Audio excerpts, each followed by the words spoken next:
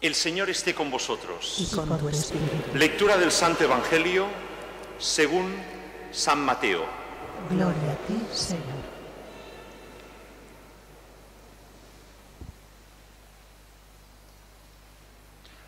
Habiendo nacido Jesús en Belén de Judea, en tiempos del rey Herodes, unos magos de Oriente se presentaron a Jerusalén preguntando, ¿dónde está el rey de los judíos que ha nacido? Porque hemos visto salir su estrella y venimos a adorarle. Al enterarse el rey Herodes, se sobresaltó y toda Jerusalén también, y convocó a los sumos sacerdotes y a los escribas del país y les preguntó dónde tenía que nacer el Mesías. Ellos contestaron, en Belén de Judea, porque así lo ha escrito el profeta, tú, Belén, tierra de Judá, no eres ni mucho menos la última de las poblaciones de Judá, pues de ti saldrá un jefe que pastoreará a mi pueblo Israel. Entonces Herodes llamó en secreto a los magos para que le precisaran el tiempo en que había aparecido la estrella y los envió, los mandó a Belén diciéndoles, id y averiguad cuidadosamente qué hay del niño y cuando lo encontréis, avisadme para ir yo también a adorarlo. Ellos, después de oír al rey, se pusieron en camino. Y de pronto la estrella que habían visto salir comenzó a guiarlos hasta que vino a pararse encima de donde estaba el niño. Al ver la estrella, se llenaron de inmensa alegría. Entraron en casa y vieron al niño con María, su madre, y cayendo de rodillas, lo adoraron. Después, abriendo sus cofres, le ofrecieron regalos, oro, incienso y mirra. Y habiendo recibido en sueños un aviso, un oráculo, para que no volvieran a encontrar a Herodes, se retiraron a su tierra por otro camino. Palabra del Señor, gloria a ti, Señor Jesús.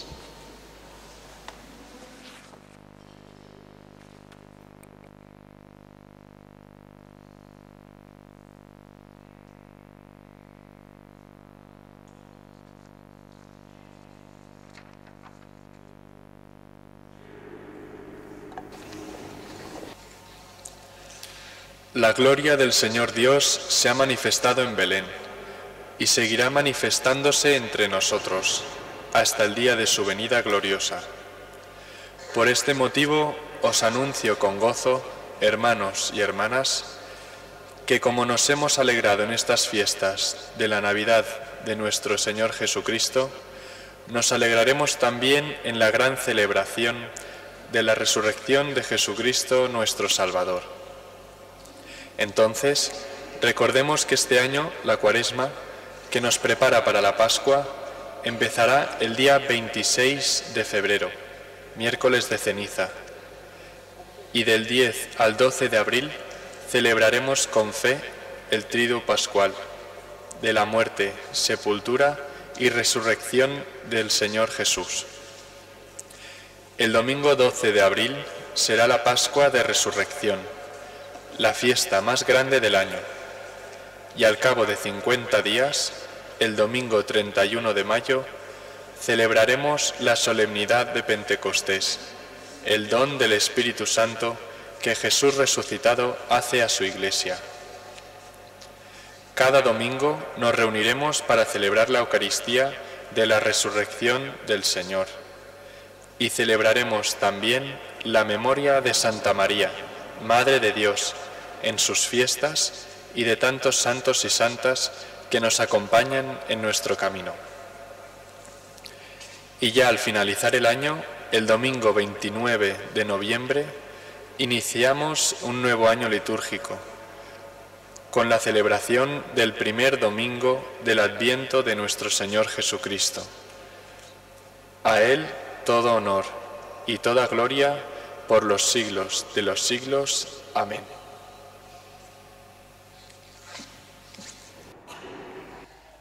Decimos que celebramos la fiesta de reyes.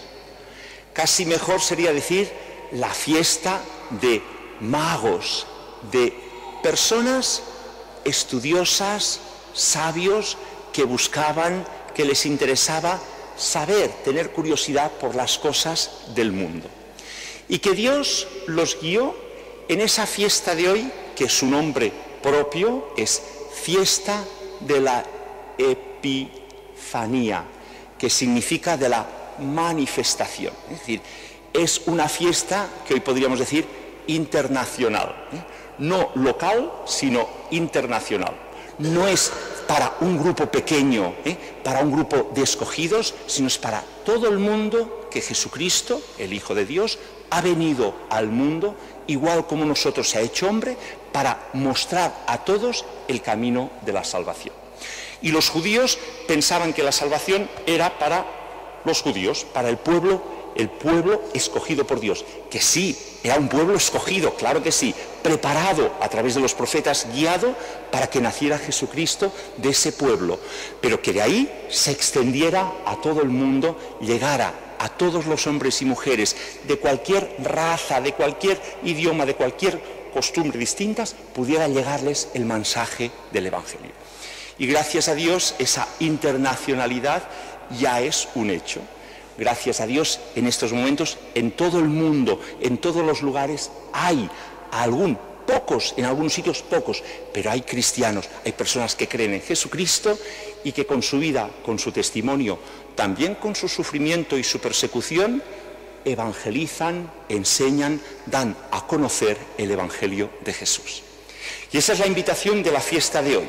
Esos tres magos, que seguramente eran más de tres, ofrecieron tres regalos, y por eso decimos tres, pero eran un grupo de personas que estudiando, observando, vieron en el cielo algo especial. ¿eh? Los científicos, astrónomos, hay un estudio bien hecho, dicen que unos seis, cuatro años antes del año cero, que es más o menos cuando nació Jesús. Jesús no nació el año cero, no, no, hubo una equivocación y nació un poco antes. Pues se calcula que en aquellos cuatro, seis años antes hubo una configuración del cielo de tres planetas brillantes con luz que quedaron en una configuración muy unida en medio de la constelación Pixis, que también es una imagen el pez es una imagen de Cristo. No es casualidad, ¿eh? el rey del universo, este sí que es rey del universo, pone orden a las cosas muy fácilmente. Es decir, esas coincidencias no le son difíciles, a nosotros imposible, a él es fácil, ¿eh? hace que coincida en un momento determinado una constelación. Y eso es lo que llamó la curiosidad, el interés a aquellos magos y que a partir de ahí, en esa constelación que también Pixis significa la zona de Judea, es un signo de Judea, fueron guiados hacia aquella zona, hacia la capital, Jerusalén, diciendo, ¿qué pasa? Aquí ha nacido el rey de los judíos. Preguntando, guiados por la estrella, se pusieron en camino. Fijaros, se pusieron en camino. Se podían haber quedado en casa, aquella configuración se veía, todos lo veían, pero muchos ni se fijaron, porque no tuvieron curiosidad, porque no observaron. Otros la vieron, pero dijeron, ¿qué? ¿Voy a dejar la casa para ponerme en camino? Cansados, estoy más cómodo en casa. Algunos dijeron, dejo la casa y me pongo en camino. Este es el interés nuestro, es decir, descubrir, contemplar, ver, tener curiosidad. ¿eh? Y es bueno que tengamos curiosidad y que veamos la obra que Dios ha hecho, la creación. ¿eh? Por eso es muy bueno que nos guste la montaña, es la obra de Dios, ¿eh?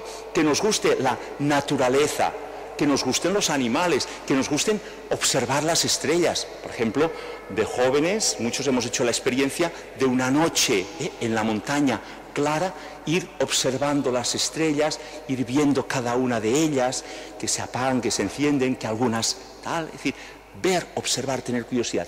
Es a través de aquello que les guía al encuentro a Jerusalén.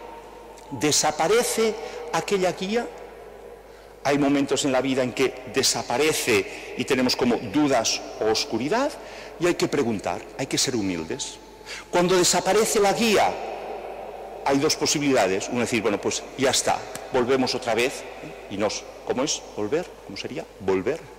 Volver, ¿eh? volvemos ¿eh? o volver ¿eh? a casa. Volvemos a casa. No, no, no. Vamos a preguntar. ¿Cuántas veces tenemos que saber preguntar? ¿A quién? A los que saben, a los sumos sacerdotes, al rey Herodes, preguntarle, ¿dónde? ¿Qué pasa? Es decir, nosotros tenemos que tener la humildad de preguntar al que sabe, ¿eh? Preguntar a la iglesia, preguntar a los responsables, a los pastores, a los sacerdotes, a los obispos, preguntar, ¿qué? ¿Qué hay que hacer? ¿Cómo va? Saber el camino. Y cuando ya han recibido la información que encuentran en la palabra de Dios, consultan las escrituras y dicen, el profeta decía, tú pueblo de Belén, no eres el último, no, no, no, no, de ti va a nacer ¿eh? el Salvador, el Mesías. Ahí es donde está previsto que nazca Jesús. Pues id a visitarle. Se ponen otra vez en camino y aparece la estrella con gran alegría y llegan hasta el sitio delante del niño Jesús. Un niño normal, igual que el otro día explicábamos del anciano Simeón, vio el niño, pero con ojos vieron que aquel era el Salvador, el Rey de Israel, el Mesías esperado. Le adoran. ¿eh? Eran gente importante, y la gente importante a veces nos creemos como orgullosos y nos es difícil abajarnos y postrarnos. A veces nos es difícil. Y fijaros que a veces uno no puede arrodillarse porque la rodilla ya duele. ¿eh? Si no puede, tranquilo. Pero si podemos arrodillarnos, es muy bueno, es muy sano, espiritualmente hablando, arrodillarse delante de Jesús. ¿eh? Es decir, hay cosas que solo se consiguen de rodillas rezando, rezando, rezando, rezando, de rodillas con insistencia, con insistencia. Es decir, tener esa fortaleza de ponernos delante de Jesús, del niño Jesús y del sagrario donde está el mismo Jesús y postrarnos y con insistencia rezar, rezar. Así se consiguen muchas cosas. Adorar a Jesús, es decir, adorar, adorar, saber adorar. Es importante. Rezar, rezar, no, no Postrarse es adorar, es reconocer la grandeza de Dios en la Eucaristía, en, Jesús, en el Hijo de Dios, y nosotros nuestra pequeñez, nuestra poquedad. Hay que ser humildes delante de Dios, pequeños delante de la grandeza de Dios. Y le ofrecen sus regalos. Tres regalos, aquí muy bien representados. Oro, incienso y mirra. Representando ya lo recordáis y lo sabéis, pero lo recordamos otra vez. Por si acaso, el oro representando que aquel niño es rey, ¿eh? el oro es signo de realeza, el incienso se ofrece a Dios, es signo de nuestra oración que sube a Dios, pues reconociendo al niño Jesús su divinidad, y la mirra que es ese producto que suaviza el dolor y que también conserva el cuerpo. Dice el Evangelio que Nicodemo ¿eh? llevó para la sepultura de Cristo mirra y aloe, mirra y aloe, mezclados para que el cuerpo se conservara ¿eh? para embalsamar el cuerpo, mostrando la humanidad de Cristo y lo que iba a hacer, que es morir, ser sepultado, derramar su sangre, sufrir por nosotros. Jesucristo, en aquel niño está el Rey, está Dios y está la humanidad unida en, esa, en ese niño, el niño Dios. Y nosotros, y para eso acabamos, yo os preguntaría como dos cosas. Primero, que pensáramos, ¿eh? ¿qué estrellas nos han guiado hasta aquí en el camino de nuestra fe? Sabéis que en el cine se habla de estrellas, personas famosas, famosas. Este es una estrella, este es una estrella. Pues yo diría, cada uno en nuestra vida, en el camino de nuestra vida, hay unas estrellas famosas a las que debemos agradecer que nos hayan guiado hasta aquí. Nuestros padres, a lo mejor profesores, ¿eh? algunos de vosotros monjas de la Purísima que os han guiado y que os han acompañado, pues pensar qué estrellas nos han guiado hasta aquí. Con una doble dimensión, nosotros también debemos ser estrellas para otros. ¿De quién puedo ser estrella de otras personas? O también decir, pensar quién Dios nos ha escogido para guiar a otros, que seguro que en nuestra vida, vuestros hijos, tal, los habéis guiado igual como una estrella al encuentro con Jesús. Y en esa doble dimensión de estrella, otra dimensión, regalo. Hoy, ¿eh? Día de esta fiesta grande y que para los niños está llena de ilusión, pensar ¿eh? que no solo regalaremos cosas o recibiremos regalos, sino que también a Jesús os pregunto, ¿qué le regalaremos? No, Él no necesita nada, ya tiene todo. No, no, ¿qué le regalaremos a Jesús? ¿Eh? Pues a lo mejor crecer en una virtud, o a lo mejor desprendernos de alguna cosa de egoísmo o de mm, vicio de nuestra vida, alguna cosa que tenemos que saber dejar, se la regalaremos a Jesús y también Jesús quiere que le pidamos qué queremos que nos regale. Él puede regalárnoslo todo, pedirle que nos regale algunas cosas. Dicen que las monjas, cuando entran en profesión religiosa, les dicen que aquello que piden, las carmelitas especialmente lo sé, de aquello que el día que entran en el convento, en la clausura, el día que entran, aquella intención que piden a Dios, Dios se la concede seguro. Y hay una monja que pidió que su hermano fuera sacerdote y ya está en el seminario, Alfonso. Su hermana, monja, pidió que fuera sacerdote su hermano, que todavía no había pensado nada, y ya está, gracias a Dios, en el seminario y colaborando con nosotros. Pues igual que una monja el día que entra puede pedir una intención y Dios se la regala, igual nosotros hoy pedirle a Jesús que le regalaremos alguna cosa nuestra, aquello que nos cuesta dejar, se lo regalaremos, pero que también le pedimos que nos ayude para que podamos hacerle este regalo y para que nos dé su apoyo, su ayuda para seguir adelante. Pensemos ¿eh? que no acabe el día de esta fiesta de hoy sin ¿eh? haberle pedido y haberle regalado. Las dos cosas tienen que estar. Y también agradeciendo las estrellas que nos han guiado hasta aquí y de quién nosotros podemos guiar al encuentro de Jesús. Con ese objetivo y con ese deseo estamos viviendo esa gran fiesta, esa manifestación de Jesucristo a todos los hombres y mujeres del mundo, a todos aquellos que están cerca de nosotros y los que están lejos.